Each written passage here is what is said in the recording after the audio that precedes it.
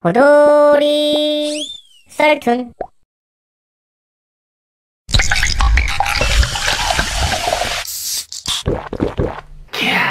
호돌이의 사이다 툰. 제가 17살 때 겪은 일이에요. 갓 입학해서 서로 어색하고 그런 때에 눈에 띄게 핑크로 도배한 애가 있었는데 폰케이스는 기본이고 웬만한 물건이 핑크. 워낙 사람을 좋아하는지 이 사람 저 사람 친해지려고 다니던 애였는데 그때까지만 해도 딱히 악감정은 없고 그냥 아 나대기 좋아하는구나 정도로 생각하고 딱히 친해지려 다가와도 신경 안 쓰던 애였어요. 제가 평소에도 지갑을 꼭 가지고 다녔어요. 집에 갈 때 버스랑 지하철 타서 그런 것도 있지만 중1 때 큰맘 먹고 산 소중한 16만원짜리 빈폴 지갑이어서 MCM처럼 진짜 미친듯이 비싼 건 아니지만 중1인 저로서는 돈을 악착같이 모아서 산 지갑. 제 지갑 안에는 체크카드랑 5천원 정도가 있었어요.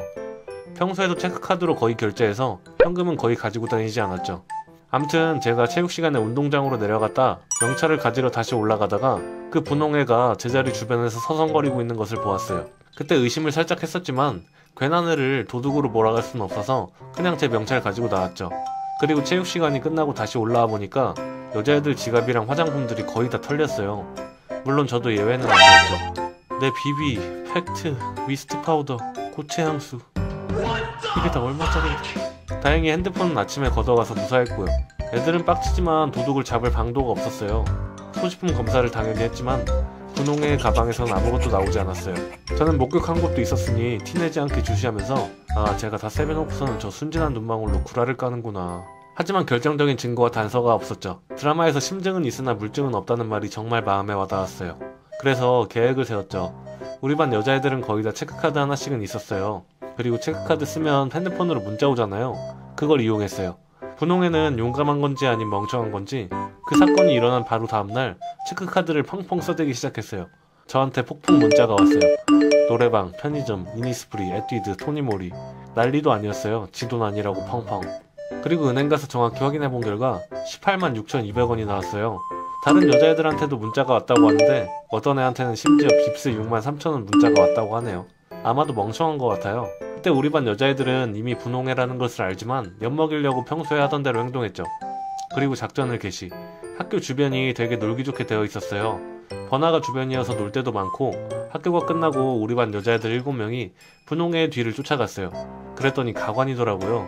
옆반에 있던 그 분홍의 절친 3명이랑 분홍애가 가는데 돈을 그냥 물 쓰듯이 쓰더라고요. 현금도 훔친 애들 지갑에 있었는지 펑펑 쓰고 진짜 어이가 없었어요. 아참 부모님한테는 이미 말해놨어요. 엄마가 분실 신고 하자고 했는데 그냥 분홍애 엿먹이고 싶다고 하고 조금 있다가 분실 신고 하겠다고 말했어요. 분홍애가 친구들이랑 영화를 봤다가 카페를 갔어요. 그 카페에서 뒤집어 엎고 나오겠다고 다짐을 했죠. 무슨 영화 찍는 것도 아니고. 그래서 카라멜 마끼아또를 먹고 있는 분홍애를 습격했죠. 진짜 그때 분홍의 표정이 아직도 잊혀지지가 않아요. 어떻게 했냐면 들어가서 분홍의 테이블로 한 명씩 갔어요. 그래서 한 명씩 안녕? 내 피 같은 돈으로 팝콘 잘 처먹었니? 한 명이 그 말하고 나오면 다른 애가 들어가서 안녕? 네가 지금 마시고 있는 까라멜 마끼오토를 네 면상에다 쏟아버리고 싶지만 그건 나중에 하이라이트로 쓸 거니까 기대하고 있으렴. 어라? 내가 사야 할 화장품을 네가 너의 더러운 면상에 쓰고 있구나. 등등. 이렇게 말했어요. 지금 생각해도 웃기네요. 이렇게 말하는 동안 분홍의 얼굴은 점점 시퍼렇게 변했어요. 아마도 우리가 모를 거라 생각했나봐요. 분홍의 친구들 표정 보니까 영문을 모르는 표정. 그리고 마지막으로 제가 들어가서 하이라이트로 걔가 마시고 있던 음료수를 진짜 영화처럼 걔 머리에 쏟아부었어요. 그 뒤로 학교에도 소문이나 걔가 쓴 돈이 아마 35만원에서 6만원이었어요. 아무리 생각해도 걔가 그 짧은 시간 내에 그토록 많은 돈을 썼다는 게 신기할 정도네요. 펑펑 쓰고 다닌 것 같아요. 지돈 아니라고. 그 돈은 당연히 다 받아냈어요. 통장 가지고 와서 정확히 분배하고. 화장품도 걔가 똑같은 걸로 새 거 다시 사서 우리들한테 줬어요. 그 뒤로 선생님들 귀에 그 소문이 들어가서 학교 징계위원회에 넘겨져서 전학 가게 되었어요. 알고 보니 걔가 도벽이 있었어요. 끝으로 제가 말하고 싶은 건 누가 자기 돈 훔쳐갔을 때는 가만히 앉아서 당하고 있지만 말고 복수하길 그럼 통쾌하게 두 다리 쭉 뻗고 잠잘 수 있어요.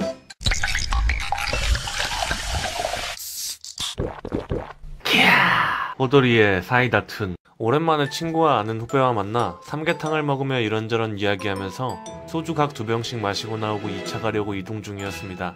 그런데 제가 자주 가는 고깃집 유리문이 깨져 있고 주인분이랑 약 40대 중후반으로 보였는데 진상과 그 친구들 4명이 막 이야기하는데 단골집을 지나치며 친구랑 헐 야 술 먹고 가게 부수는 사람 아직도 있나봐 라고 말하며 가는데 진상이 그 말을 듣고 우리에게 시비를 걸었어요 어이가 없었지만 저란 놈은 평화주의자입니다. 신경 쓰지 말고 가려는 찰나 배치기를 시전하더군요. 그 순간 친구가 끼어들었어요. 이놈이 몸무게 킬로수가 세 자리예요. 방어적 배치기 스킬을 썼어요. 진상 아저씨가 배치기에서 밀리자 이젠 이런 버르장머리 없는 새끼들이 니네 부모가 그렇게 가르치디? 라며 패드립 날리더라고요. 그 말에 저는 제 친구 어릴 적 부모님 일찍 돌아가셔서 부모님 패드립 나오면 눈깔 돌아가는 걸 알아서 그 순간 바로 뜯어말렸어요. 아 나봐 하마 네가 진상 상대해봤자 원래라면 진작 폭발하고 남을 녀석이 한숨 쉬며 잘 참더라고요. 살짝 친구가 흥분한 걸 본 진상이 다시 들이대더니 멱살을 잡았어요. 이놈이 표정이 왜 그따위야? 그리곤 잡은 멱살 흔들며 밀치기를 했어요. 손톱에라도 긁혔는지 친구 목에서 피나고 확 밀어버리자 친구가 중심을 잃으면서 바닥에 나뒹굴었어요. 그 순간 아 ATM 각이다 생각 들어서 바로 신고했죠. 진상 아저씨가 신고한 거 알더니 도망가려 하더라고요. 그래서 막으려고 하다가 저도 밀침 당했지만 잘 막았어요. 근데 순식간에 뿌리치더니 일행들 도움으로 택시를 탔어요. 와 그때 뚜껑 열릴 뻔했어요. 택시를 막아서고 정중히 다가서서 사연 설명 후에 저 아저씨 데려가시면 도주 도운 걸로 같이 신고할 거예요. 근데 기사님이 그냥 데리고 갔어요. 가자마자 경찰 오고 그 사람 인적사항은 계산한 카드로 파악을 하시더라고요. 진술서 쓰고 집으로 갔어요. 며칠 후 경찰서에서 연락이 왔어요. 가해자 잡았다고. 합의 원한다고 하여 연락처 공유 가능하냐고 물어보니 우선 연락처 알려달라 해서 알려줬어요. 진상님은 역시 진상이더라고요. 밤 11시에 친구한테 전화가 왔다고 하네요. 옷이랑 바지랑 다 사준다고 하고 합의금으로는 약 30만원 이야기를 했어요. 그것도 밤 11시. 저랑 친구는 동업해요. 오후 6시에 끝나니 내일 봅시다. 라고 하니 무조건 아 내가 밤늦게밖에 시간이 안 되는데 그래서 친구가 그럼 합의고 나발이고 벌금이나 쳐맞으시죠. 그러더니 며칠 후 늦은 시간에 술 처마시고 하소연 전화가 왔다더군요. 합의 좀 해달라면서요. 그래서 친구는 이 시간에 술 마시고 전화하는 거 실례입니다. 그리고 합의 절대 없으니 그만 거세요. 하고 끊었어요. 원래부터 합의 안 하려 했다 하더군요. 그 후 저번 달 정말 간만에 그 고깃집 방문했는데 사모님이 알아보셨어요. 잘 지내시냐 여쭤보니 그때 그 진상 처리 결과를 알려주셨어요. 진상은 합의 못 봐서 벌금 300만원. 사모님도 속 시원하다고 하셨어요. 제 속도 시원하더라고요.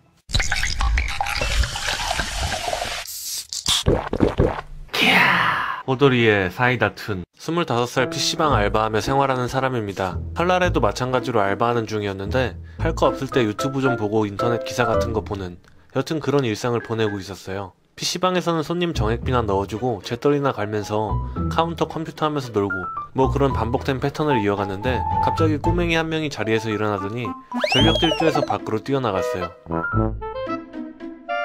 잠시 멍하고 있다가 아차 하고 뛰어갔어요. 학자금 대출 갚고 이것저것 내려다보니 봐줄 사정이 안 돼서 그런데 제가 장갑차 조종수 출신으로 달리는 거 잘해서 그렇게 그 어린 꼬맹이와 나와 숨막히는 추격전이 벌어졌으면 좋겠지만 50m 정도 뛰고 잡았어요. 잡아서 끌고 와서 그 꼬맹이를 PC방 카운터에 세워놓고 이 녀석 자리를 봤더니 꼴랑 3천원 했더라고요. 하지만 제가 3천원을 물어주면 저녁 끼니를 못 때울 상황에 처해서 정말 젠틀하게 담배 한 대 피면서 왜 그냥 나갔어? 돈이 있는 줄 알았는데 없었어요. 몇 살이냐? 12살. 초. 어린애랑 더 이상 대화해봤자 싶어서 엄마 번호 있지? 전화 걸어봐. 아 부르기 좀 그런데. 아니 근데 잘못했다는 말은 한마디도 안 하네. 점점 괘씸해져서 안 부르면 안 보내줄 거야. 아 그냥 보내주시면 안 돼요? 살짝 울컥해진 저는 쪼잔하게 보일 수도 있겠지만 무시하고 할 일 하며 그의 도망가나 안 가나 보고 있었어요. 솔직히 아무리 제 사정이 어려워도 사람이 잘못을 인정하고 잘못했다고 하면서 빌기만 했어도 저녁 정도 뭐 넘기자 하며 착한 형이 되어 그냥 보내줄 수도 있었을 것 같은데 끝까지 안 하더라고요. 그래서 저도 끝까지 안 보냈어요. 그렇게 그 초딩과 한 시간 넘게 같이 있었는데 애가 울기 시작했어요. 겁나 매정하지만 너 아무리 그래도 엄마 안 부르면 안 보내줄 거야. 그로부터 30분쯤 더 지났나? 엄마가 직접 찾아오셨어요. 친척집 놀러 왔다가 안 오니까 자주 가는 데 위주로 찾으러 온 느낌이었어요. 들어서자마자 너 왜 여기 이러고 있어?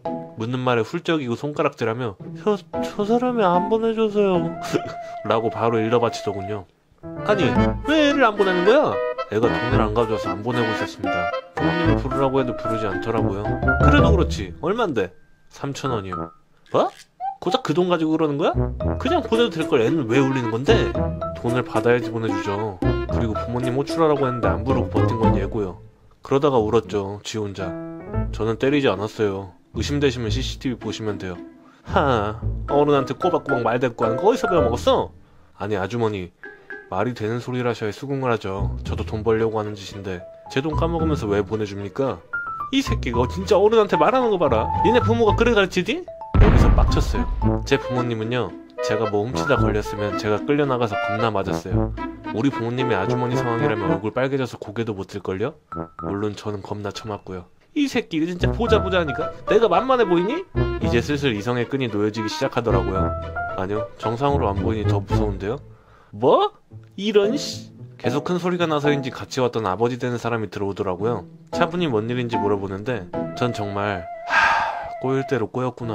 엄마란 사람도 저런데 아빠는 어떠겠어? 생각하며 그래도 설명할 건 차분하게 조목조목 설명했어요. 그랬더니 뭐라고? 하... 당신 제정신이야? 아니 왜 저한테 조용하고 너넌돈 없으면 죄송하다고 하고 먼저 말해지 무슨 버르장머리야? 아이고 정말 죄송합니다. 그 제 아이가 쓴 돈이 얼마인지 3천 원이요. 만 원을 손에 살포시 쥐어주면서 미안하게 되었습니다. 정말 너무 생각과 다르게 아빠가 대신 사과를 하고는 아들 멱살 잡고 궁시렁거리는 아줌마한테 조용히 하고 따라와 이러고 나가셨어요. 상황 종료되고 담배 피러 나갔는데 밑에서 쫙 소리가 났어요. 누가 맞은진 모르겠지만 아마 애가 맞은 것 같네요.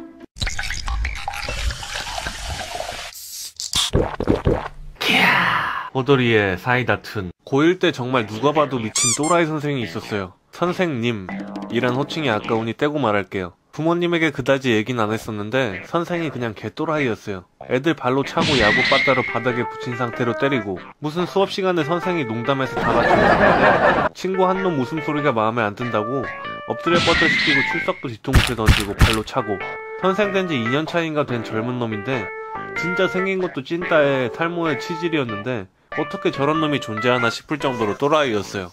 언젠가 한번 이 선생한테 찍혔었는데 이유가 뭔지 아직도 이해가 아무리 생각해도 제 잘못이 아닌 것 같은데 옆자리 짝꿍 친구랑 놀다가 책상 서랍에 폰을 그냥 냅뒀는데 수업 시작할 때 제 친구가 폰이 있어서 걸리적거리니까 조금 엉거주춤하게 책을 뺐나봐요. 그걸 보고는 야 너 뭐 숨겼냐 이 새끼야 하면서 매 눈으로 그걸 캐치해서 제 핸드폰이 책상에 있다는 걸 지적했어요. 근데 정말 저 아무것도 안 했고 심지어 폰도 꺼져 있었는데 뭐라고 혼자 중얼거리더니 저를 보더니 너는 매사가 거짓말이야. 항상 네 부모 먹칠을 하는데 이제 네 부모들한테 전화를 해야겠다. 수업 땡까고 갑자기 교무실로 불려가서 그날 한 6시간은 서 있었던 것 같아요. 아무것도 안 하고 교무실에서. 그때 눈앞에서 번호 찾아서 부모님께 전화했는데 전 뭐 걱정 없었거든요. 이 선생이 또라이고 엄마 아빠도 옳고 그름은 구분하는 사람들이라 솔직히 난 네가 엿될 것 같은데 속으로 이 생각하면서 차분했어요. 부모님 전화 받고 이 선생이 진짜 또라이인 걸 딱 눈치를 챘어요. 나중에 들은 말로는 원인과 결과에서도 개소리를 하고 안 그래도 학부모들 사이에서 이미 안 좋을 대로 소문 퍼져서 이미 눈치 다 까고 있었다고 하더라고요. 아버지는 사업하시고 엄마는 주식하는데 아빠는 나이가 이미 많이 드실 대로 드셔서 그런 선생들 자체를 원래 노답으로 보는 사람이셨는데 전화해서 개소리 하니까 아빠가 면전에 대고 탈탈 털었나 보더라고요. 그렇게 개 털리고 괜히 저한테 뭐라 또 하더라고요. 부모 보니 네가 왜 그 모양인지 알겠다. 저 미친놈이 뭐래. 근데 그러면서도 엄마한테 전화했는데 엄마는 아빠랑 스무 살 가까이 차이 나는데도 아빠가 못 이기는 성격이에요. 선생은 아빠가 털렸으니 엄마에게 건 것 같은데 잘못 생각했어요 진짜. 게다가 엄마가 주식에 투자할 때 굉장히 예민한데 하필 예민한 타이밍에 선생이 전화를 건 거예요. 엄마가 완전 빡 돌아버리셔서 전화기로 쌍욕하는 게 교무실에 다 들리고 시선 집중되고 난리 났어요. 이때부터 선생 얼굴에 똥줄 타는 게 보였어요. 수업 다 안 가고 애들 자습시키고 교무실에서 처형 기다리는 모양이랄까? 아니나 다를까 3시 좀 지나고 4시 좀 넘어서 엄마가 직접 찾아와서 교무실에서 선생 개털더라고요. 참나 니 같은 새끼 선생이냐? 아니 그 저 상식적으로 말이 되는 소리를 해야지 어? 저 일단 진정 진정은 무슨 애가 무슨 거짓말을 했고 뭘 잘못했는데 뭐가 있으면 증거를 가져오든가 피해망상에 쩔어서 2시간 가까이 헛소리하는 거 내가 들어줄 줄 알았니? 정신 차려. 선생 계속 하고 싶으면. 사태가 심각해지자 교장 선생님과 교감 선생님까지 오셔서 죄송하다고 빌고 난리가 났어요. 덕분에 그날 야자도 안 하고 저는 반에서 영웅이 되었습니다. 엄마가 원래 센 건 알았지만 그렇게 세다는 걸 실제로 본 건 처음이었어요. 앞으로 또 이러면서 억울하게 건들면 내가 너 인생 진짜 조져버릴 거야. 아빠도 나중에 웃어서 우리 아들 몸에 한 번만 더 손대거나 하면 취재진 보내버릴 거니까 알아서 하시기 바랍니다. 그 일 이후 진짜 그 선생 저 2학년 갈 때까지 기죽어서 맨날 입만 털고 애들 못 건드렸었어요. 아마 위에서 린치를 당했겠죠. 부임한 지 얼마 안 된 초짜 선생이 난리 쳤으니.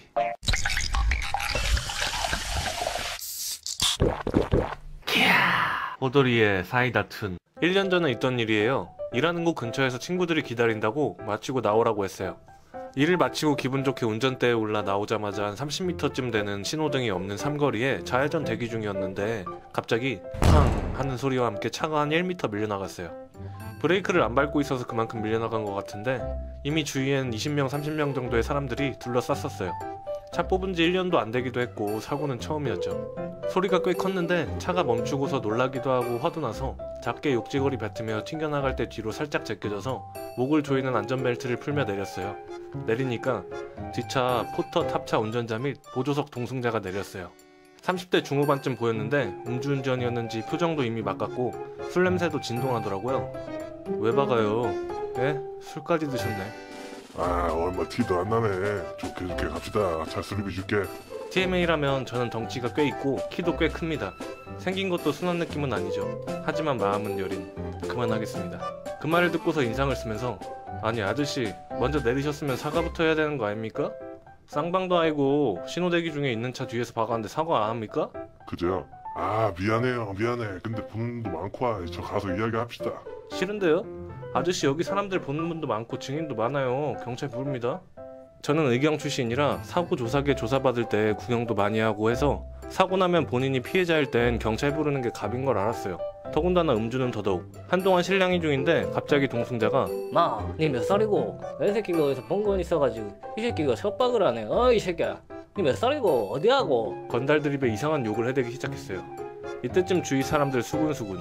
야, 우리가 신고하자. 어우 저 사람들 뭐야 술 먹고 와서 박아놓고. 내 말이 자기네가 큰 소리네. 저거 새 차인 것 같은데.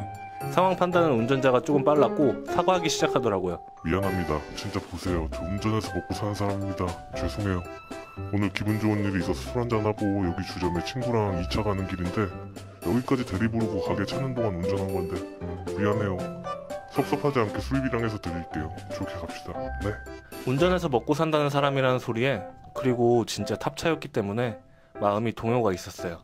근데 갑자기 동승자 친구가 다시 야, 이- 야, 나이도 어린 새끼가 어디서 눈을 똑바로 뜨고 뒤질라고. 야, 뒤질래?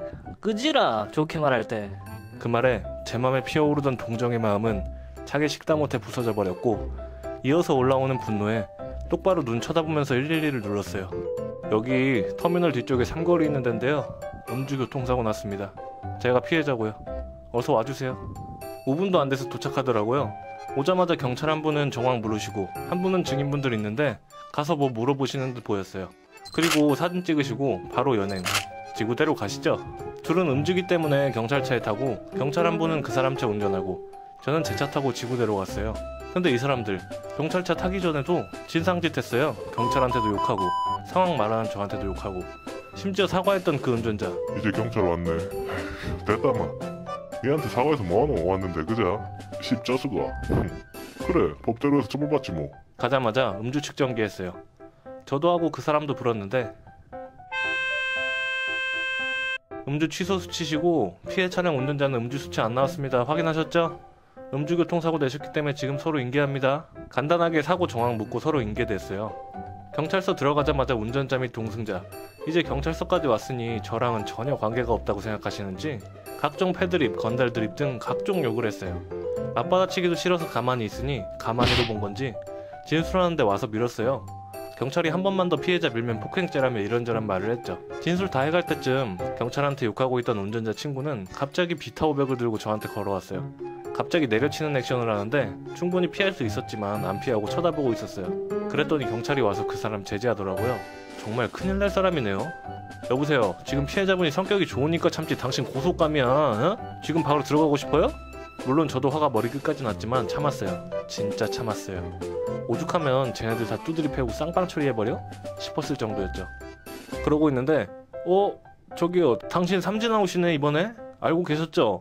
이번엔 심각해요. 운전자가 그 말에 엄청나게 당황하더라고요. 저는 기분이 이상했어요. 저 사람이 운전으로 먹고 사는데 삼진 아웃이라고? 그렇게 진술을 마치고 저는 친구들 만나러 갔어요. 친구들 만나고 늦게까지 술 마시고 대리 불러서 집에 와서 푹 자고 일어났더니 문자 몇 통에 부주중 전화가 와 있었어요. 모르는 번호였지만 문자는 내용을 보니 누군지 알 것 같았어요. 주무시나요? 저 아까 사고 낸 사람인데 정말 제가 정말 죽을 죄를 지었습니다. 혹시 일어나시면 전화 주실 수 있나요? 전화를 걸었더니 완전 빨리 받더니 미안하다 하고 막 난리였어요. 근데 전 이제 안 믿겼어요. 이미 이 사람의 이중성을 봤기 때문에 귀등으로 흘리면서 합의 때문에 만날 약속을 잡았어요. 만날 약속 전에 차 수리 견적을 내봤어요. 서비스 센터 가서 160 가까이 나왔더라고요. 범퍼, 후방 센서, 카메라, 뒷문 찌그러짐 등등. 그리고 목이 정말 아팠기에 병원 가서 진단서까지 받았어요. 3주 나왔어요. 차 수리해주시는 기사님이랑 대화를 나눴는데 그런 놈은 봐주지 말라면서 삼진 나오시면 완전 아니라고 해서 합의금 얼마 받을까요? 라니까 무조건 150 이상은 받아야 한다고 하시더라고요. 약속 시간이 돼서 그 사람 만났어요. 저 어제는 잘 들어가셨습니까? 어젠 본의 아니게 정말 죄송합니다. 됐고요. 여기 견적서고 여기 진단서예요. 그랬더니 와 얼굴이 완전 180도 또 달라지는데 아니 고거 박았다고 지금 병원 가서 진단서를 뗍니까? 예? 파스 한 장 붙이면 될 걸 그걸 꼭 그렇게 처리하셔야 합니까? 돈 더 받으시려고 지금 진짜 너무하시. 어젠 정말 진짜 마지막으로 참아준 건데 이제 저도 못 참겠더라고요. 야 이 미친 양반아 돌았네. 내가 어제도 병으로 대가리 찍으려는 것도 참아줬다. 알제? 또 얼마나 어떻게 해줄까? 어? 보자 보자 하니까 네 내가 진짜 보자기로 보이냐? 진짜 어이가 없어서 대화가 안 통하네? 그렇게 큰 소리 진짜 놀란 눈으로 가만히 있는데 아, 마 그냥 데리고 꺼져라. 자리에서 일어나 나가려는데 갑자기 잡더니 100만 원을 줬어요. 잠깐 살짝 고민했어요. 근데 그 뭉치를 그 사람한테 도로 던지고 꺼지라 했어요. 그러고 나서 차에 올라 이 사람이 왜 내가 병원 간 거에 민감하지 싶어서 보험회사 사고 처리 보상반에서 근무하고 계신 형님이 생각나 전화를 했어요. 형님, 이런저런 상황인데 어떻게 합니까? 헐, 와, 그 사람 엎친 데 덮친 격에 뒤집어진 거네. 왜요, 형님? 아, 삼진 나오시면 일단 벌금 500 이상 출발이고 네가 만약 임시로 접수까지 하게 되면 1000 이상해. 결격에 진짜 암튼 장난이 아니다. 그래서 그 사람 그래 민감한 거지. 자기는 아니까. 뒤통수를 맞은 격이었어요. 제가 아무것도 모른다고 또 속이려고. 그럼 형님, 너무 괘씸해서 그런데 최대한 받으려면 얼마까지 받을 수 있어요? 네 말빨이긴 한데 최소 형 같으면 400은 받겠다. 최대 500까지. 진짜 최대다. 다시 전화 오길래 형님 알려주신 거 말하고 실랑이 하다가 450까지 받고 합의 맞췄습니다. 형님이 합의 잘한 편이래요.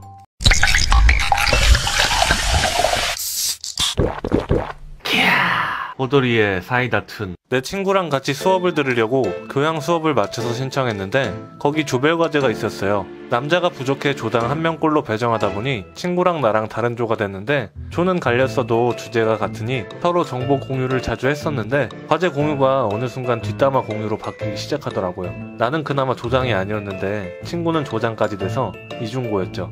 우리 조 조장은 3학년 여자였는데 과제량을 인원수대로 6등분해서 그중 3.5를 혼자서 다 해냈어요. 나머지 2.5는 내가 했고 그리고 친구는 혼자서 4.5 정도 한 것 같아요. 1 정도는 내가 도와주고 우리 조장은 과외 알바 하면서도 알바 끝나고 9시에 학교로 다시 와서 자정 넘어서 광역버스 막차 타고 집에 갈 정도로 책임감이 있었고 나랑 둘이서 고생 고생해서 발표를 성공리에 끝마쳤죠. 근데 그 친구는 혼자서 죽어라 하고 있는데 진도가 안 나가는 거예요. 그래도 아둥바둥 하다가 미쳤는지 어느 순간 히히 웃기 시작하더라고요. 그러면서 나한테 두고 봐라 우리도 이제 주옥 됐다 하고 웃으면서 과제 준비하더라고요. 그 이유를 발표 2주 전에 알게 됐죠. 드디어 발표 날 수업 시간 다 되도록 친구가 안 오는데 조원들 새파래져서 전화하는데 전화기 꺼져 있었죠. 수업이 시작되고 교수님이 출석 부를 때 의모돌 내가 손들고 대답했어요. 예비군 훈련 갔는데요? 진짜 예비군 훈련 갔죠. 경상, 공대 그날 가고 인문 예체능 다음 날이라 나는 다음 날이었고 해서 속으로 웃으면서 그쪽 보고 있었는데 다 멘탈 붕괴됐어요. 아까 쓴 대로 우리 조는 발표를 잘 끝냈고 내 친구 조가 발표할 시간 교수님은 남은 사람들끼리 해보라고 자료 공유 안 했냐고 하는데 있을 리가 없지. 그 조 애들이 필사적으로 변명하기 시작하더라고요. 자료가 없는 건 아닌데 모여서 정리된 자료가 아니라 산발적이에요. 우리 각자 파트는 잘 알지만 취업하는 건 조장 회목이라 우리는 그것을 모아서 발표할 수 있는 사람이 없어요. 등등 말하고 있는데 내가 손들고 교수님 호돌이가 그거 PPT로 정리해서 조언 카페에 올려놨다고 하던데요? 그러자 교수님이 그럼 그 조는 맨 마지막 순서로 빼줄 테니 자기 조사한 부분 돌려가면서 발표하세요 라고 하셨어요. 그때 걔네 얼굴을 친구가 못 본 게 참 안타까운 게 지금도 만나서 술 먹으면 내 얼굴 일그러뜨려서 그 표정 흉내내서 보여줘요. 되는 대로 던진 말이었는데 작살로 돌아와서 말 거는 여학생도 멘붕. 카페 들어가서 자료 다운받는데 그 화면을 빔 프로젝트로 모두가 보고 있는데 친구가 자료 올린 글 제목이 제발 부탁입니다. 였어요. 클릭해보니까 내용이 제발 부탁입니다. 최소한 이걸 수업 전에 읽고 들어와 주세요. 분명 저 아닌 다른 분들에게도 교수님이 질문하실 겁니다. 그것도 힘드시면 출력이라도 해서 가져와 주세요. 12장밖에 안 됩니다. 라고 글자 크기 거의 48 정도로 키우고 굵게 하고 색깔 빨갛게 해서 가독성 최상급으로 해서 올려놓더라고요. 자료 다운받으려던 조원 얼굴 빨개지고 하는데 교수님 한마디 읽은 사람 수가 1이네요. 조원들 한 명도 안 읽은 거죠. 교수님 더 볼 거 없다면서 그날 수업 그냥 거기서 끝내고 그조 애들이 막 교수님한테 붙어서 다음 주에 기회 한 번만 달라고 막 애걸하는데 교수님 볼 거 없다고 냉정하게 내치고 나가버리셨어요. 내 친구는 그 다음 주에 발표 쩔게하고 A 맞고 조별과제인데 혼자서 했다고 10점 마이너스 한다고 하셨는데 A면 거의 만점에 가까운 점수를 주신 듯 하네요.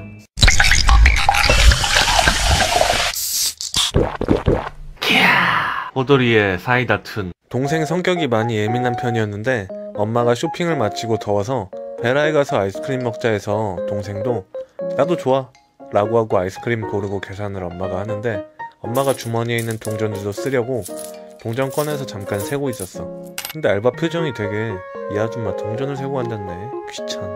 이런 표정이었어. 물론 사람에 따라 다르게 느끼지만 알바 표정이 웃는 표정은 아니었어. 정색이었거든. 알바 입장에선 손님이 돈을 세고 앉아있는 게 답답하긴 했겠지만 그걸 직접적으로 표현해서는 안 된다고 생각하는데 나는 아무튼 엄마한테 내가 계산할까? 하다가 엄마가 됐다고 알바한테 돈을 주고 홈플러스 포인트 카드 같은 거 있잖아. 빨간색 카드. 그거 내미니까 알바가 이건 적용이 안 된다고 했나? 아무튼 이 카드 말고 다른 걸로 해야 한다고 했어. 우리 엄마는 이런 거 잘 모르니까 아 이건 안 되는 거예요? 하고 물어보니까 알바가 네안 된다고요. 이건 아예 안 되는 건데요? 이러는 거야. 표정 되게 기분 나쁘게. 엄마는 민망해서 그냥 웃고 있고 나도 화나서 뭐라 하려다가 괜히 일 커지면 엄마가 곤란해질까봐 참았거든. 근데 알바가 현금 영수증 카드로 찍고 카드 떨구는 척 엄마한테 카드를 던진 거야. 내가 봤을 땐 진짜 놓친 척 하면서 던진 거였어. 손 모양을 내가 어떻게 캐치했거든. 뒤에서 지켜보던 동생이 그거 보다가 화가 났는지 나 밀고 끼어들어서 여기 직원들은 손님한테 물건 막 던져요? 난 보고 아 얘가 욱했다 생각해서 말렸는데 아 넌 입 다물고 아이스크림이나 퍼먹고 있어 내가 오빠면 뭐하냐 이딴 취급받고. 아무튼 엄마도 왜 그래 딸? 동생이 엄마한테 엄마 잠깐 아이스크림 먹고 있어. 라고 해서 내가 일단 엄마 옆으로 갔어. 동생은 그러자마자 바로 알바한테 따졌어. 알바라도 그쪽은 여기 직원 아니에요? 우린 손님이에요. 손님이 아무리 모르고 못 알아들어도 그쪽이 무시하는 투로 대하는 게 예의예요? 여기 대체 교육 어떻게 하는 거예요? 그쪽 돈 벌게 해주는 게 우리예요. 서비스직에서 손님을 상대하는 직업을 가지고 있으면 되게 알바든 정직원이든 일할 땐 똑바로 해야 하는 거 아닌가요? 당신이 이렇게 하면 댁은 물론이고 이 가게가 피해보는 거 알긴 해요?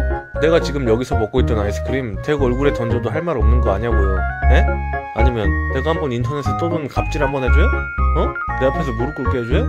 내 동생이 나이는 어려도 일찍부터 서비스 직종에 취업해서 이미 한 직장의 관리자거든 그래서 가게에서 직원들이 예의 없게 구는 거 되게 싫어해 어쨌든 알바가 쟨 뭔데 나한테 이래라 저래라야 하는 표정으로 보길래 동생이 아 여기 관리자 나와봐요.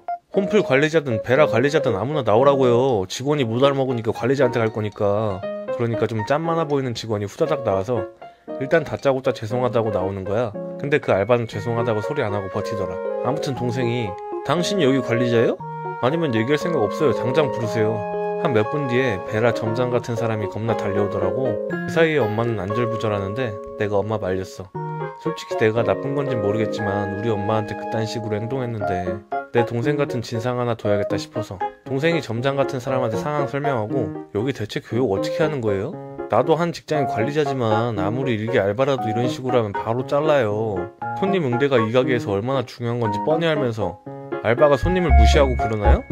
원래 세다고는 생각했지만 진짜 잘 따지더라 동생이라지만 나도 좀 무서워질 정도였어 그렇게 계속 말해도 계속 알바가 반성의 기미가 없자 잘리게 하냐고 하니까 그제서야 고개 푹 숙이고 사과하더라. 엄마에게 잘못한 거 사과하더라. 그러고는 계속 죄송하다는 점장님이랑 다른 직원한테 당신들이 미안할 건 아니에요. 이번에 호닥이 당했으니까 안 하겠죠. 수고하세요.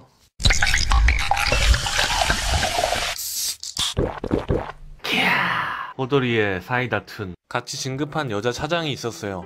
여자 차장으로 말할 것 같으면 고등학교 졸업하자마자 창업 멤버로 고졸로 입사해서 말단 격리부터 시작하여 온갖 고생이란 고생은 다해가며 이사님의 충실한 오른팔로 경력을 쌓아온 베테랑 정치에 능하고 처세술이 좋아 회사 내외적으로 평판이 좋았으나 너무 성격이 드세고 한 번 찍히면 뼈도 못 추린다고 평가받았어요.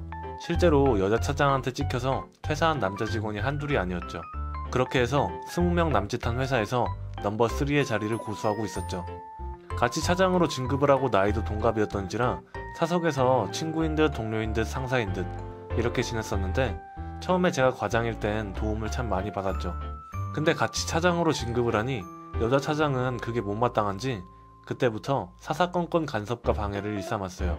실제로 새해가 되면서 연봉 책정을 하는데 여자 차장이 이사님에게 이 차장은 매년 진급해서 급여가 급격하게 올랐으니까 이번엔 동결시켜야 할 것 같네요.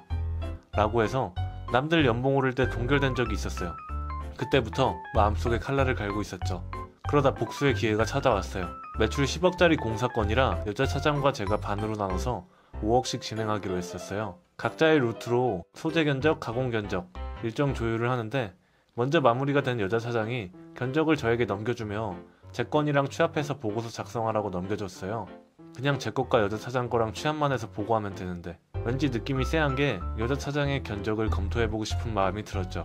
일단 표준가로 계산해보니 적정한 수준으로 판단되었어요. 근데 이 여자가 이렇게 비싼 집행가를 할 사람이 아닌데 이사님한테 어떻게든 마음에 들려고 하청업체들 질질 볶아서 표준가의 5% 이상 내고가 들어가야 정상인데 더군다나 금액도 큰 공사라 턴키로 던지면 더 다운될 부분도 분명히 있었죠. 그래서 교묘하게 제 견적을 작성하기 시작했어요. 동일한 소재, 동일한 아이템의 경우 하청업체의 온갖 아양을 다 떨어가며 최저가로 견적을 받아내고 다른 아이템의 경우 조금 루즈하게 견적을 받았죠. 가공 일정에 대해서도 제가 최대한 동원할 수 있는 모든 가공업체를 동원해서 소재 투입 즉시 동시다발적으로 진행해서 대개 두 달 정도 걸리는 일정을 한 달로 줄여버렸어요. 그렇게 보고서가 올라가고 이사님이 짱구가 아닌 이상 같은 공사건을 둘로 나눴어도 모를 수가 없었죠. 이사님의 특별 지시사항이 개인 휴대폰으로 내려왔어요. 여자 차장에게 얘기하지 말고 저보고 따로 여자 차장 견적건을 견적을 받아보라 하더라고요. 아이템만 몇 개 섞어서 똑같은 공사건인지 알 수 없게 하여 동일 업체 다른 담당자에게 견적을 냈어요. 정확하게 5% 정도 견적 금액이 차이가 났어요. 뭔가 이상하다 싶어 제 담당자에게 넌지시 물어봤는데 사실은 이러이러해서 동일 견적을 다른 담당자에게 받았는데 금액이 좀 차이가 나는데 회사 시스템적으로 그럴 수 있나요? 물었더니 헐 여자 차장이 받은 견적의 담당자와 그 위에 부장, 여자 차장 이렇게 세 명이서 주기적으로 작당을 해서 리베이트를 챙겼던 거예요. 이걸 보고해야 하나 말아야 하나 고민을 하다가 대놓고 전쟁이라고 선언하는 것밖에 안 돼서 스리슬쩍 소문만 흘렸어요. 우리 회사나 그 하청 직원이 아닌 가공업체 쪽에. 어떤 사람은 백마진도 먹고 그런다는데 참 능력이 좋다면서 어떻게 그렇게 하죠? 라며 조금씩 내용을 바꿔가며 여러 업체에 소문을요. 일주일 만에 이사님 귀에 추측성 소문이 들어갔어요. 결국 여자 차장은 제대로 찍히고 그 이후 가오 세울 만한 커다란 공사건은 저와 천사 같은 부장님 둘이 콤비로 진행하며 승승장구하고 여자 차장은 잔잔한 공사들만 아래 과장 대리급들과 굴러가며 진행했어요. 속 시원하죠?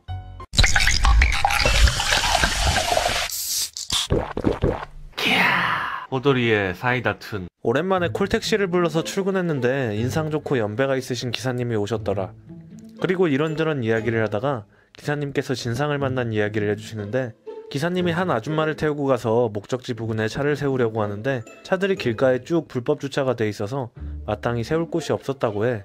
그래서 불법 주차 차들을 지나서 원래 세워달라고 한 곳보다 조금 지나서 세웠는데 요금은 3,000원이었는데 조금 지나가는 바람에 3,100원이 되었다고 해.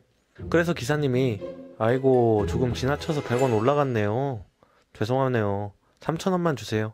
라고 하셨는데 그랬더니 이 아줌마가 아저씨 인생 그렇게 살지 마세요 라고 했다네 기사님 어이없고 화나서 뭐 너 지금 뭐라 그랬어? 미터기 조작했잖아요 인생 똑바로 살라고요 기사님 너무 화가 나서 그때부터 아줌마랑 싸우기 시작했대 미터기 조작한 적도 없고 100원 더 나와서 그거 안 받겠다고 한 게 무슨 죄냐고 따지셨는데 아줌마는 그동안 3천원 넘게 나왔던 적이 없으니 미터기 조작이라고 박박 우기더라.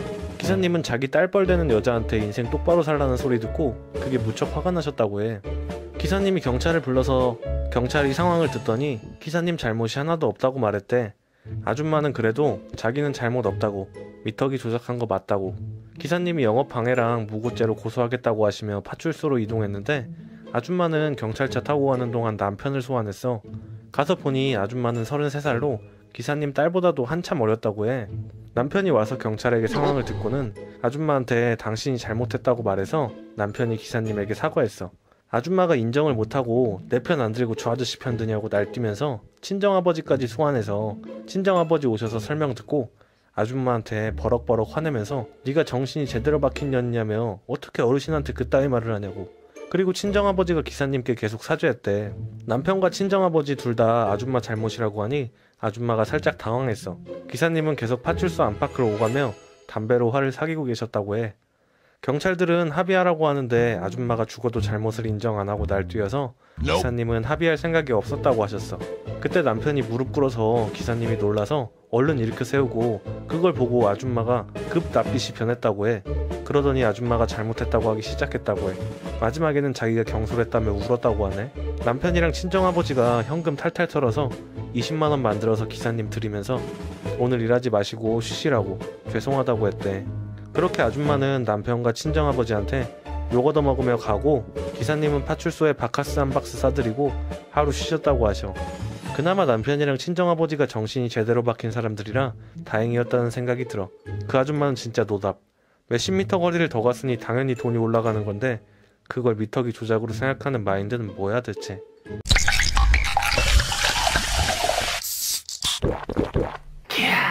호돌이의 사이다 툰 고등학교 때부터 친했던 동기들끼리 만든 단톡방에 다섯 명이 있어. 근데 전부 다 친하진 않고 절친의 절친 이런 식으로 얽혀 있었어. 특히 그 중 한 명은 우리 다섯 명 중에 한 명이랑만 엄청 친해서 어쩔 수 없이 같이 친해지게 된 그런 거? 근데 걔가 좀 예전부터 너무 오지랖에 질투에 사람을 귀찮게 하는 애라 나는 지금까지 약 7년간 거의 얘기를 잘 안 했어 얘를 오지라고 할게. 그리고 그 다섯 명 중 지금까지 한 번도 우리한테 연애사나 이런 걸 얘기한 적 없다가 지난번 서울시청 퀴어 퍼레이드에서 찍은 사진을 딱 올리면서 커밍아웃한 친구가 있었어. 얘가 야자수 패턴으로 폰 배경해놨으니까 야자라고 부를게. 일단 야자는 고등학교 때나 대학교 때나 엄청나게 인기가 많은 친구였어.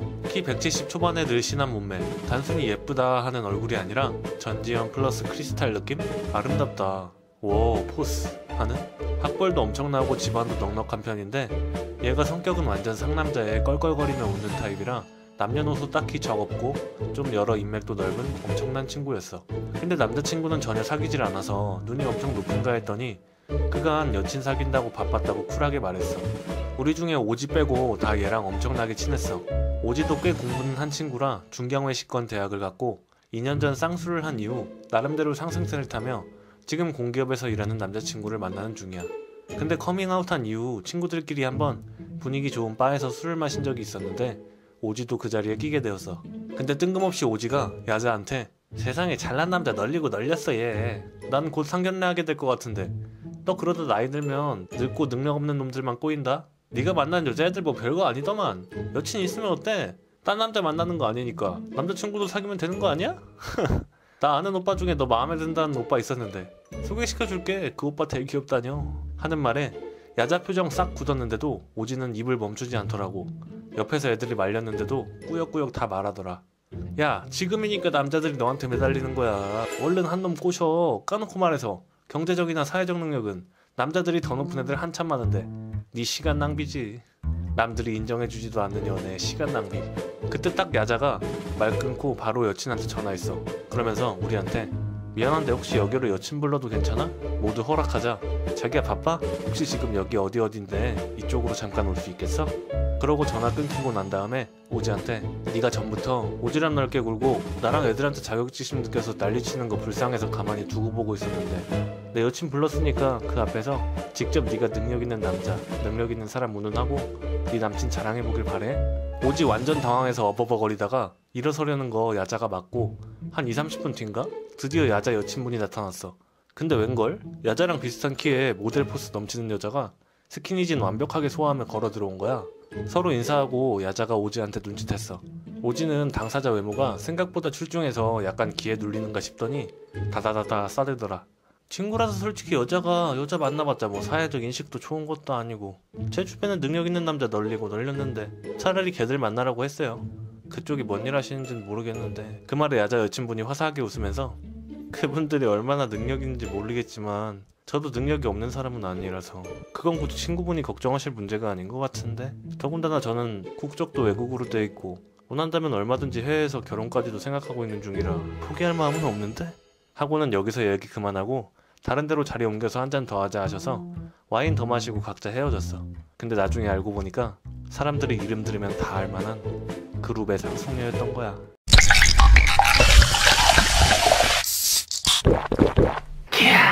호돌이의 사이다 툰 저는 일단 꽤 희귀한 병을 앓고 있습니다. 때문에 활동이 많이 제한되고 꾸준히 약물 복용과 시술에 의존하는 상황에 처했었죠. 이 기간 중에 제 인생은 상당히 암울했어요. 당장 뭘 해야 될지도 모르겠고. 그런데도 손을 놓지 않은 게 있는데 그게 그림이에요. 학창 시절부터 낙서만 주구장창했는데 마음에도 없는 학업을 한다고 그냥 제 마음을 눌러담고 있었어요. 오늘 썰의 주인공은 제가 그림 공부를 시작할 때부터 저한테 시비 털던 놈입니다. 저는 독학으로 공부를 하다가 학원에 등록했는데 이 녀석도 비슷한 때에 들어왔어요. 컴퓨터 아트 학원이라 디지털 작업을 가르치는데 전 그림부터 초짜고 걔는 나름 미대를 다니더라고요. 진짜 얘가 말을 막 하는 성격이라 조금 알고 지내니까 형, 진짜 그렇게 해서 언제 늘어요? 형 그림 진짜 못 그린다. 나 중학교 때가 낫겠어. 형, 진짜 이걸로 돈 벌려고요? 뭐 별말 많습니다. 그렇게 반년 다니다가 나온 게 딱 올해 초인데 병세가 많이 호전돼서 집에서 그림 그리는데 충분히 시간을 많이 투자할 수 있게 되었습니다. 그러다가 어떻게 올해 말까지 아는 지인에게 소개받아 게임 회사에서 견습처럼 배우면서 일하게 되었습니다. 그런데 이 회사에서 AD 보시는 분이 휴게실에서 저랑 얘기를 나누는데 이분이 약간 장난기가 많으셔서 어이 실력이 좋아졌어. 쓸만해? 감사합니다 형님. 물론 대충 공부한 놈 치곤 말이야. 죄송합니다 형님.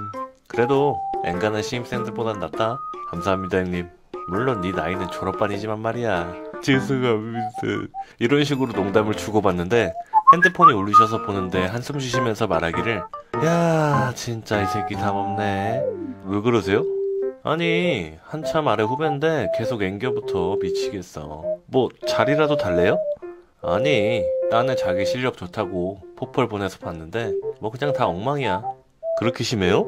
심한 건 둘째 치고 후배라고 챙겨주고 싶다선 쳐도 이건 너무하다 싶어서 좀 알아보니까 학점도 빵꾸 내고 뭐 과제 중에 표절 때린 것도 있고 나한테 계속 연락해. 잘 봐달라고. 뭐 하는 놈이래요? 이상한 놈이네. 봐봐. 이거는 아주 피카소야 피카소. 이렇게 대화가 진행되면서 본 대화 상대 이름이 절 엿먹인 그놈입니다.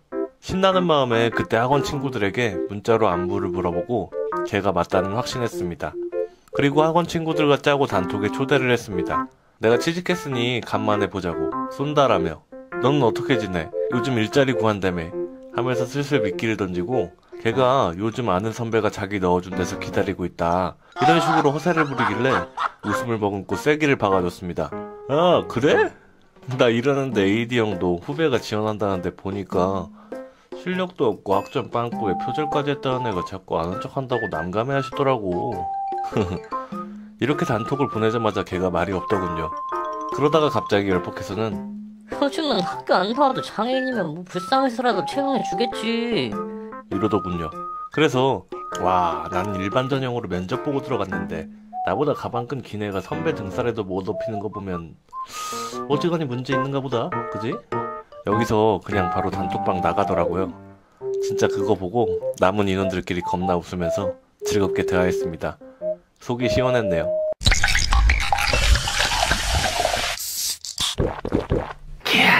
호돌이의 사이다 툰 저희 회사는 원래 9시 출근이고 매주 월요일은 임원급 회의가 오전 7시에 있어요. 70명 정도 되는 회사인데 임원급은 15명 정도고요 임원 외 직원은 월요일은 눈치껏 8시 반 정도에 출근해요. 저는 입사한 지 두 달 된 완전 막내인데 저희 팀 팀장님이 땡땡씨는 매주 월요일 6시 반까지 와서 회의실 준비랑 커피 준비해 라고 해서 어쩔 수 없이 두 달 동안 그렇게 해왔어요. 55분 정도까지 회의 준비해 놓으면 업무 시작하기 전까진 멍 때리고 꾸벅꾸벅 졸고 있고 그랬어요 그러다가 저번 주 월요일 쉬고 화요일 날 회의 준비하고 있는데 총괄 이사님이 6시 45분쯤 오신 거예요. 땡땡씨 이 시간에 웬일이냐고 깜짝 놀라서 물으시길래 회의 준비하러 나왔다고 얘기했어요. 그랬더니 준비 뭐뭐 하냐고 물어보셔서 금요일 오후에 임원들한테 회의 자료 취합해서 프린트하고 명수대로 준비하고 자리 정리랑 커피 탄다고 얘기했어요.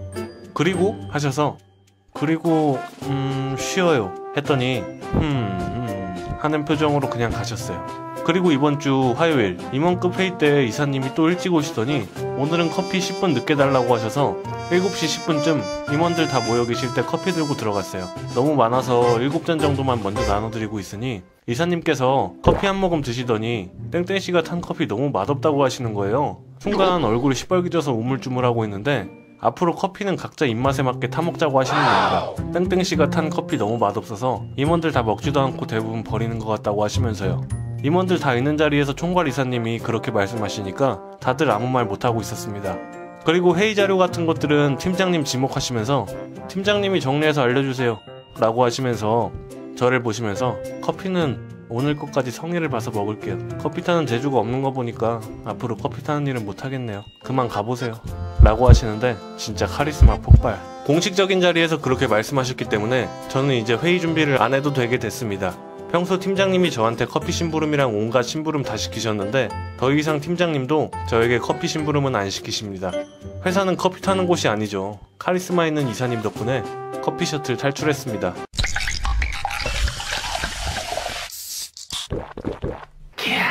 호돌이의 사이다 툰. 우리 명절은 작은 이모랑 큰 이모가 우리 집으로 오시는데 참고로 이모들은 각자 아들 하나 딸 하나가 있는데 이 중에 큰 이모 아들 즉 사촌 동생이 우리 집에서 자주 물건들을 훔쳐갔어 예를 들어 작은 피규어랑 눈에 잘 안 보이는 것들 있잖아. 그런 거.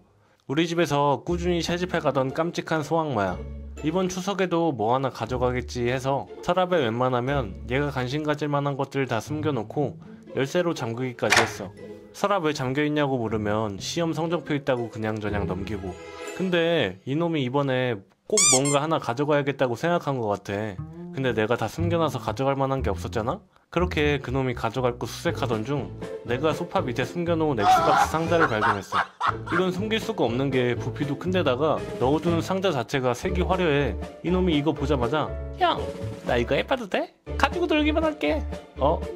어, 음, 음, 그래, 나랑 하자. 그렇게 두 시간 정도 피파하다가 시간이 늦어져서 그대로 그냥 가면 될 걸 이모한테 사달라고 조르기 시작하더라. 이모는 안 된다고 했지만 그놈은 계속 사달라고 하다가 그럼 그냥 가져갈 거야 라고 하더라. 그냥 가져가? 내가 이렇게 두 눈 시퍼렇게 뜨고 보고 있는데? 내가 좀 당황하자 이모도 당황한 듯이 말했어. 아니 이걸 왜 가져가? 형 거잖아. 그러자 이놈이 더 밀쳐 날뛰는 거야. 계속 형 거니까 가져간다고 하더라. 그러자 이모가 그럼 여기서 살라면서 나가시려고 하자 이놈이 케이스에 엑스박스 다 넣어둔 거를 통째로 들고 엘리베이터를 타려는 거야. 나도 보다가 진짜 화나려고 하는데 이모가 그놈 뺨을 때리시더라. 이모는 전부터 그놈이 우리 집에 다녀오면 장난감이 생기니까 훔쳐가는 거 예상하셔서 용돈도 더 챙겨주시고 그랬어. 근데 이모 바로 앞에서 진상 부리니까 이모도 안 되겠다 싶어서 뚜껑 열리신 것 같아. 가족들 다 모여있는데 이모가 사촌 동생 뺨을 계속 때리는 거야. 한 세 대 정도 때렸는데 그놈 코피가 나고서야 이모가 때리는 걸 멈추시더라. 너 이 새끼 이런 식으로 살 거면 그냥 도둑으로 살아. 꼴도 보기 싫어. 꺼져. 라는 폭언과 함께 가족들 다 데리고 집 가버리시더라. 나는 어버버 하다가 그냥 가만히 서 있었어. 얘는 울다가 엄마가 아이스크림 하나 주면서 달래고 재운 다음에 아침에 집에 데려다 줬어.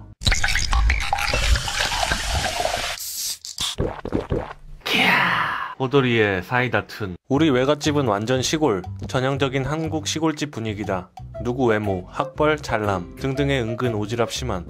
그중 엄마 바로 아래 남동생의 딸이 나랑 동갑이었다. 시골 친척들 다 모이면 늘상 하는 이야기가 그 집 딸내미와 동갑인 나의 비교 분석 시간이었다. 우리가 태어나자마자 지금까지 계속되는 끝나지 않는 메비우스의 띠 같은 이야기거리. 동갑이다 보니 언제나 외모, 몸매, 학교, 공부, 진로 등으로 도마 위에 올랐는데 어른들이 늘 그렇게 비교하다 보니 우리 둘은 전혀 친해지지 못했다. 청소년기에 들어서면서 나는 이제 스트레스 받기 싫어서 더 이상 외갓집에 가지 않았다. 우리 집은 아무튼 그렇게 풍족하진 않지만 난 그 와중에 딱 하나 가진 재능이 그림이었다. 내가 학교 다닐 때까지만 해도 미대는 돈 많은 집 자식들만 다니는 곳이라 나는 그림을 주구장창 그리면서도 엄마 아빠 눈치 보며 고2 때부터 이과생이 되었어. 근데 이과 과목 공부가 점점 어려워지는 거야. 성적표를 보신 아버지께서 너 그냥 미술 할래? 라고 하셔서 그날로 같이 가서 입시 미술을 끊었어. 그리고 그 이야기를 전해 들은 외갓집에서 난리가 났어. 실은 나랑 동갑인 사촌, 그 외숙모네 그 애가 중학교 때부터 미술을 배우게 했던 거야. 미대를 보낼 생각으로 입시 미술만 5년 가까이 시키는 중인데 어디 미대 입시를 그렇게 쉽게 생각하냐고. 그 형편에 이제 시작해서 되겠냐고 하더라고. 너네 집은 가난하다. 땡땡이는 지금 시작해서 될 리가 없다. 라는 말들이 전제로 깔려 있었어. 미술학원에서도 입시 미술을 이제 시작해서 늦은 감이 있다고 하던 와중에 그런 말을 들으니까 기분이 그렇더라. 하지만 나는 원래 어릴 때부터 그림을 좋아하고 이과생으로 닦아놓은 공부 실력이 있어서 수능 성적도 실기도 조금씩 전망이 좋아지고 있었어. 하지만 생각보다 수능 성적이 별로 안 나왔어. 하지만 아빠랑 나는 막무가내로 두 개 원서를 인서울로 썼어. 그 이야기를 듣고 외가댁에선 또 난리 난리가 났어. 외숙모네 그 아이는 나보다 입시 미술을 몇 년을 더한 케이스인데도 불구하고 세 개 다 지방 대학으로 넣었던 거야. 주된 요점은 이거였어. 우리 땡땡이가 이 정도인데 넌 너무 이상이 높은 거 아니냐? 될 거 같냐? 뭐 어떻게든 되겠지 하고 실기 준비를 엄청 열심히 했어. 아무튼 그렇게 원서를 넣은 학교의 실기를 보고 결과를 기다리면서 홀가분한 마음으로 실로 오랜만에 외갓집을 갔어. 외숙모네도 우리 집도 입시가 끝난 직후라 뭔가 후련한 마음을 안고 다들 외갓집으로 모인 해였는데 살짝 미묘한 분위기는 언제 누가 합격, 불합격 소식이 들려올지 모를 긴장되는 분위기 속에서 나의 합격 발표가 났어. 그것도 가장 높이 쓴 엠서울 학교 중 한 곳에서 무려 경쟁률이 44대 1이었는데 떡하니 붙어버린 거야. 더 대박은 실기 시험이 만점을 받아 과 차석으로 붙어버렸어. 외가댁 식구들 다 기뻐해주고 엄마 아빠도 난리 났는데 나의 사촌 결과는 3지망 모두 지방대 모두 떨어지고 결국 재수해서 간 곳이 또 지방대였어. 속이 다 시원하더라.